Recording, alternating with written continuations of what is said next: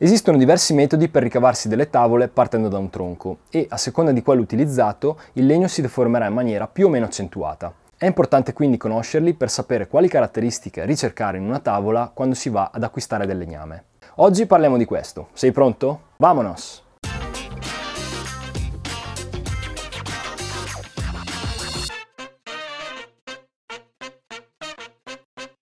Ad un occhio inesperto tutte le tavole potrebbero sembrare uguali. Osservandole però bene di testa riusciremo ad avere molte informazioni utili per risalire a quale parte del tronco apparteneva la tavola. Proprio in quest'ottica è importante conoscere i vari tipi di tagli per semplificare la fase di riconoscimento della posizione della tavola all'interno del tronco.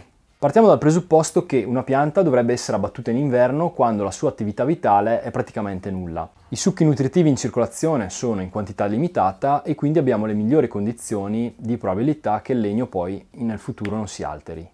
Detto ciò partiamo con l'analisi del primo taglio, quello tangenziale, che probabilmente sarebbe quello che una segheria vi proporrebbe se voi gli portaste un tronco. Detto tangenziale perché i tagli avvengono in maniera tangente agli anelli di accrescimento e quindi in questa maniera. Vantaggi. Questo è sicuramente il metodo più veloce di tutti da realizzare e al tempo stesso che ci permette di ricavare delle tavole di maggior larghezza e spessore. Qui ho fatto una X perché la zona del midollo va scartata in quanto punto di grande debolezza della tavola. Svantaggi, questo è il metodo peggiore utilizzabile perché è quello dove gli effetti dell'imbarcamento si manifestano al massimo. Infatti i tagli attraversano zone di diversa maturazione del legno, possiamo pensare che qua al centro c'è il legno più vecchio, detto durame, tutto attorno invece c'è l'alburno, che è quello dove i vasi linfatici sono più presenti. Ciò porterà l'aria, la temperatura e tutti gli agenti che concorrono all'essiccazione delle tavole ad agire in maniera diversa a seconda del punto di maturazione del legno, favorendo quindi l'imbarcamento.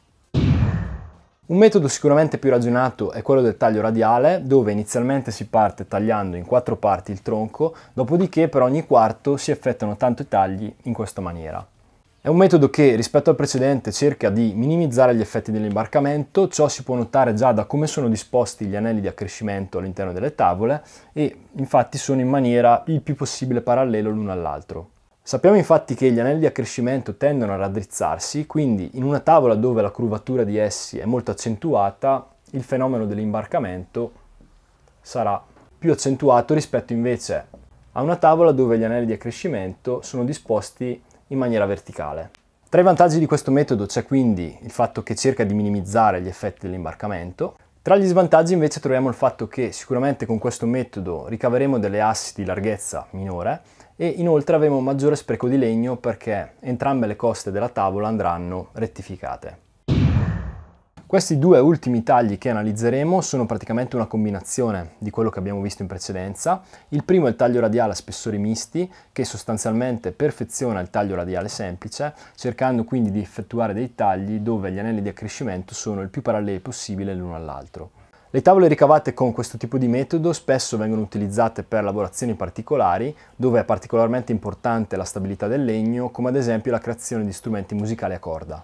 È un metodo quindi che minimizza ulteriormente i fenomeni dell'imbarcamento, a fronte però di uno spreco di legno maggiore e tra l'altro permette di ricavare delle assi molto varie in spessore e larghezza. L'ultimo metodo analizzato oggi è il taglio di quarto a ventaglio, anche in questo caso si cerca di minimizzare come nel metodo precedente, gli effetti dell'imbarcamento. In particolare vengono alternati tagli in verticale a tagli in orizzontale, cercando il più possibile di ricavare delle tavole con gli anelli di accrescimento paralleli. Per oggi è tutto, le informazioni che ho racchiuso all'interno di questo video le ho prese direttamente da questo libro, di cui ti ho già parlato in un video che trovi qua tra le schede.